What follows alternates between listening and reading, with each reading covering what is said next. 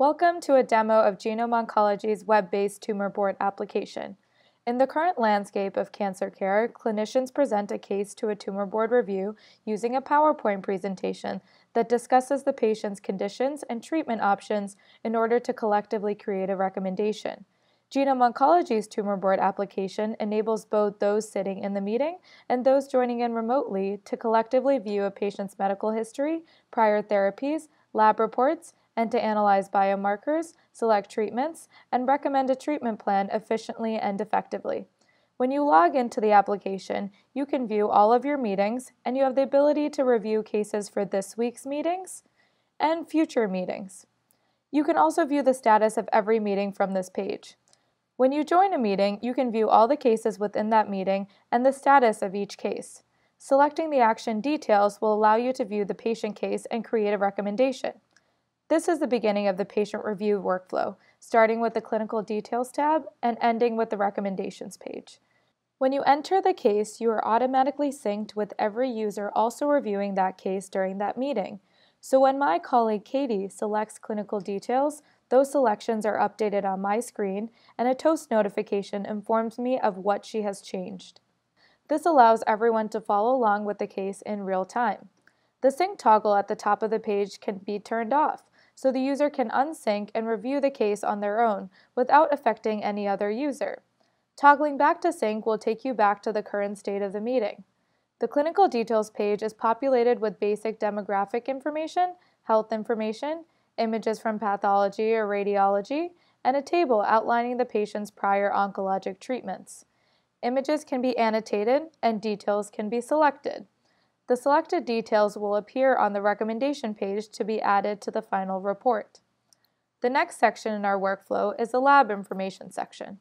This page is populated with any patient reports. For example, we have a GenomOncology report and a FoundationOne report. All the biomarker data from these labs is presented in the Markers tab. Experts can review detailed information about any biomarkers, including the allele frequencies of the mutations in both a tabular and graphical form. And if you select a marker, you can view the gene information, gene disease, alteration info, pathway info, where you can view trials and therapies specific to parts of the cell pathway affected by the mutation, and even take a look at trials and therapies specific to the variant. In the Trials and Therapies tab, you can view trials specific to this variant, change it to view only trials based on this gene, and view trials not specific to the disease of the patient. This information has been curated by the MyCancer Genome team at Vanderbilt. You can also view other pathogenic mutations proximal to the variant that you have selected.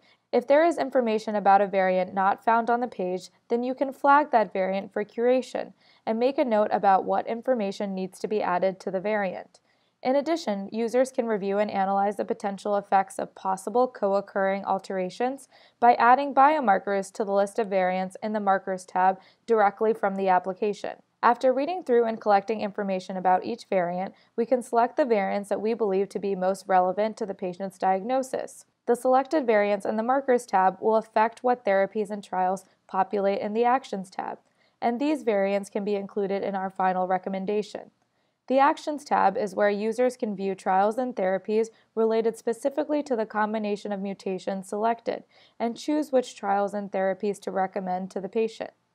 The last section in our workflow is the Recommendations tab, where users can create and send a report with the proposed treatment plan to clinicians. Any customized template can be incorporated into the report to organize the recommendation. Each section can then be populated with any detail, marker, and action that we selected in the previous tabs. The entire recommendation is fully editable and can be modified by any user. Thank you for watching an introduction to GenomOncology's tumor board application. We look forward to your support and feedback.